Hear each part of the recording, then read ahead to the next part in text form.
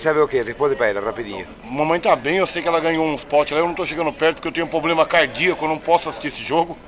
Mas eu sei que ela tá bem, ela ganhou alguns potes, deve estar acima de 100 mil.